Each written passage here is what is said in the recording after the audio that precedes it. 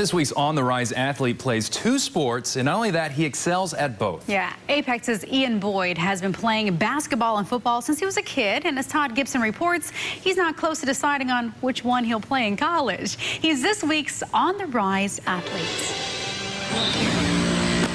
Apex 2 sports star Ian Boyd just can't seem to decide which sport he will play in college. So, I'm picking the college. Like, if I like the college, that's the sport I'm going to play. Usually the athlete picks the sport that's best for him, and then the best college fit seems to follow.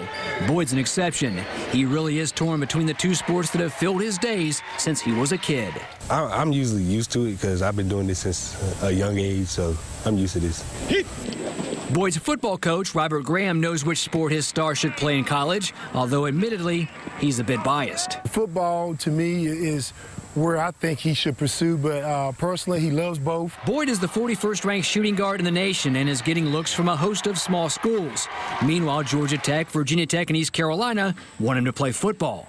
I think once those college guys get him and show them he can do other things on the football field, uh, he could be, the sky's the limit for him because he's tremendously athletic. Regardless of which sport he does eventually choose, Boyd has had a fantastic career at Apex, a career that's quickly winding down.